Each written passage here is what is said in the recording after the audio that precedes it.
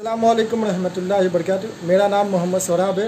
मेरा एक सवाल है, एक बेटी के अपने बाप के जायदाद में कितना हिस्सा है? बड़े मेहरबानी होगी, आप बताएँ। अस्सलाम वालेकुम रहमतुल्लाह भाई का सवाल ये है कि एक बेटी का अपने बाप की जायदाद में कितना हिस्सा है? यानी एक शख्स फौत हो गया, अब उसकी एक बेटी है या उसकी बेटियाँ हैं तो उनका हिस्सा कितना बनता है अपने बाप की जायदाद में? तो देखिए, नॉर्मल हालात में बेटी की तीन हालतें हो सकती हैं, तीन शक्लें हो सकती हैं, बाप की जायदाद में हिस्सा पाने की। अल्लाह रब्बुल आलमीन ने सूर निसा में कहा है यूसी कुमल्ला फ़ी औलादिकुम लिद्दकर मिसल हज़िल उनसैन फ़ैन कुन निसाअन फ़ौक़सनतैन फ़लहुन्ना सुलुसा मा व इनकानत वाहिदतन फ़लहन निस। अल्लाह फरमाता है कि अल्लाह रब्बुल तुम्हारी औलाद के बारे में ये हुक्म बताता है कि अगर तुम्हारी औलाद में बेटा बेटी दोनों हैं तो तुम्हारे मरने के बाद उनका हिस्सा इस तरह होगा कि जो लड़के को मिलेगा, वो डबल होगा, बनस्बत उस हिस्से के जो लड़की को मिलेगा। ये पहली हालत है बेटी के हिस्सा पाने की, कि बेटी अगर बेटे के साथ हो तो फिर क्या होगा कि जिन लोगों का हिस्सा फिक्स है, जैसे माँ है, बाप है, इन लोगों का हिस्सा देने के बाद जो कुछ बचेगा, जो रिमेनिंग शेयर होगा, उस रिमेनिंग शेयर को औलाद में इस तरह बांटेंगे कि बेटे को मिले डबल और बेटी को मिले उसका आधा। मिसाल के तौर पर किसी के एक बेटा और एक बेटी है तो जो असहाबुल फ़राइज़ हैं, जिनका हिस्सा फिक्स है, जैसे माँ बाप है या बीवी है, उनका हिस्सा निकालने के बाद जो बचता है, इसका हम तीन हिस्सा कर देंगे, चूँकि एक बेटा है और एक बेटी, इसलिए तीन हिस्सा करेंगे, दो हिस्सा बेटे को और एक हिस्सा बेटी को। तो ये पहली शक्ल है बेटी के हिस्सा पाने की, कि अगर बेटी बेटे के साथ है तो रिमेनिंग शेयर में इस तरह हिस्सा पाएगी कि जो बेटे को मिलेगा वो डबल होगा और उसका जो आधा होगा वो बेटी को मिलेगा। ये पहली शक्ल है। दूसरी शक्ल बेटी के हिस्सा पाने की ये है कि सिर्फ़ बेटियाँ हों, बेटे के साथ ना हों, लेकिन उनकी तादाद दो या दो से जायद हो। अगर बेटियाँ एक से ज़्यादा हैं और सिर्फ़ बेटियाँ हैं, साथ में बेटे नहीं हैं तो उनका हिस्सा है दो तिहाई, दो बटा तीन, कुल माल में से। पहली शक्ल में तो बचे हुए माल में से हिस्सा था, लेकिन इस शक्ल में कि अगर किसी की बेटियाँ एक से ज़ायद हैं और उसके बेटे नहीं हैं तो बाप के माल का, यानी कुल माल का दो बटे तीन हिस्सा इन बेटियों को मिलेगा। अल्लाह ने कुरान में कहा, फ़ैन कुन निसा अन फ़ौक़सनतैन फ़लहन्ना सुलुसा मातरक इस आयत का मतलब है कि बेटियाँ दो हों या दो से ज़्यादा हों तो उनको सुलसा मातरक यानी तरके का दो बटे तीन हिस्सा मिलेगा। एक हदीस भी अल्लाह के नबी वसल्लम की कि उसमें अल्लाह के नबी वसल्लम ने एक से जायद बेटियों को दो बटे तीन हिस्सा दिलाया है। दो बेटियाँ थी, उनको दो बटे तीन हिस्सा दिलाया है। मिसाल के तौर पर बाप के पास अगर तीन करोड़ की जायदाद है तो दो करोड़ बेटियों को मिलेगा और बाकी एक करोड़ दूसरे जो असबा वगैरह होंगे, उनको मिलेगा।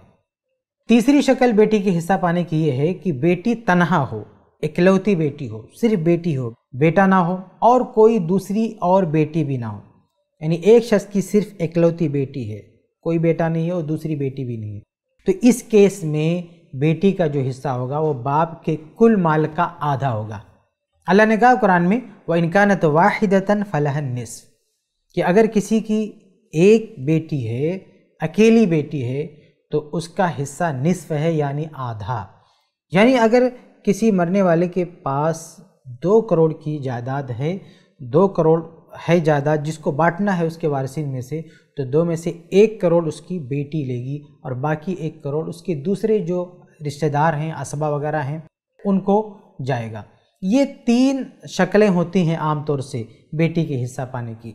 या तो बेटी बेटे के साथ होगी और वन डबल के हिसाब से उसको हिस्सा मिलेगा। या फिर ये है कि सिर्फ़ बेटियाँ होंगी एक से ज़्यादा तो दो बटे तीन कुल माल का उनको मिलेगा। या सिर्फ़ ये कि अकेली बेटी हो तो कुल माल का आधा हिस्सा उसको मिलेगा। एक चौथी शक्ल भी होती है, लेकिन बहुत कम होती है। बेटियों के हिस्सा पाने की चौथी शक्ल होती है और बहुत कम होती है। वो ये कि बाप की कुल जायदाद बेटी को मिल जाए। देखिए, नॉर्मल हालात में ऐसा नहीं होता है। बेटी को जब भी मिलता है, पूरा नहीं मिलता है। कुछ मिलता है और कुछ किसी और को जाता है। लेकिन कभी कभी ऐसा होता है कि सारी जायदाद बेटी को मिल जाती है। ये कब होगा? ये तब होगा जब एक मरने वाले की सिर्फ़ बेटी हो या बेटियाँ हों और इनके अलावा कोई दूसरा रिश्तेदार हो ही ना सिरे से। कोई भी रिश्तेदार ना हो। यानी मरने वाले का भाई ना हो, उसके भतीजे ना हों और कोई सिरे से है ही नहीं, सिर्फ़ ले दे के ये बेटियाँ हैं। तो कुल जायदाद इनको मिल जाएगा। यानी अगर दो हैं तो दो बटे तीन फर्जन, यानी उनका तो हिस्सा है ही, लेकिन जो बचेगा वो वापस रिटर्न इनको दे दिया जाएगा, यानी कुल इनको मिल जाएगा। अकेली बेटी है तो आधा तो उसका हिस्सा वैसे बना ही है, बाकी आधा असल में दूसरों को मिलना चाहिए था, लेकिन दूसरा कोई अवेलेबल नहीं है तो ये आधा इसी को रिटर्न कर दिया जाता है। ये एक शक्ल है, चौथी शक्ल, बहुत कम ऐसा होता है कि मरने वाला का दूसरा कोई रिश्तेदार है ही नहीं तो पूरा इसी को दिया जाता है। अच्छा कभी कभी ये भी होता है कि मरने वाले के दूसरे रिश्तेदार होते हैं फिर भी पूरा माल बेटी को दे दिया जाता है। वो इस वजह से कि दूसरे रिश्तेदार किसी वजह से ब्लॉक हो जाते हैं, महरूम हो जाते हैं, महजूब हो जाते हैं। मिसाल के तौर पर एक शख्स है, नौ मुस्लिम है। नया नया मुसलमान हुआ है। मुसलमान होने के बाद उसने शादी किया और उसकी एक बेटी हुई। अब उसकी कोई और औलाद नहीं है। एक बेटी है, कोई बेटा नहीं है। अब उसने करोड़ों की जायदाद छोड़ा है। तो करोड़ों की ये सारी जायदाद उसकी बेटी को दे दिया जाएगा, बाकी किसी को नहीं दिया जाएगा। क्योंकि ये जो नौ मुस्लिम है इसके बाप को भी जायदाद मिल सकती थी, लेकिन इसका बाप गैर मुस्लिम है। इसलिए बेटी को जो आधा मिलना चाहिए था, आधा जाना चाहिए था, इसके दूसरे रिश्तेदारों को, मसलन बाप को जाना चाहिए। बाप ब्लॉक है क्योंकि वो नॉन मुस्लिम है, इसलिए बाप को नहीं दे सकते। ये मरने वाले के भाई को भी मिल सकता था, और भाई है भी, लेकिन भाई गैर मुस्लिम है, इसलिए वो भी ब्लॉक है, उसको भी नहीं दे सकते। तो कुल मिलाकर ले दे के उसकी यही एक बेटी है, इसलिए आधा तो उसको दे देंगे, जो कि उसका हिस्सा तय है, और बाकी जो आधा बच जाता है, वो भी उसी को रिटर्न कर देंगे। तो ये जो चौथी शक्ल है ना कि बेटी को या बेटियों को सारी जायदाद, बाप की सारी जायदाद उठा के दे देते हैं, ये कभी कभी होता है, वरना आम हालात में बेटियों की तीन हालतें होती हैं, तीन शक्लें होती हैं जो शुरू में मैंने आपके सामने रखा।